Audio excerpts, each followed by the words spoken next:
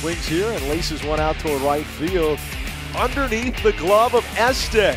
And this will give McLaughlin a chance to score as the throw comes in from right. Here comes the cutoff and the relay, not in time. And the Jayhawks take an early 1 0 lead.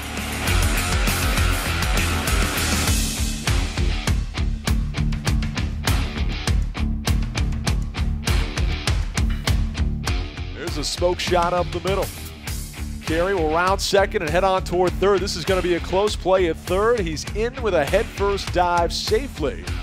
And into second because of the throw goes McLaughlin.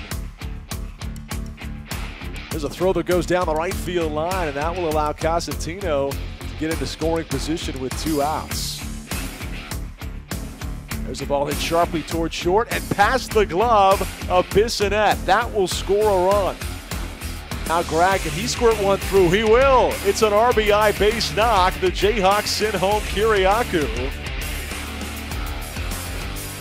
There's a base knock, or is it? Saving it is Cosentino, snagging and firing for the out. A major rob job at second base by the Kansas rookie.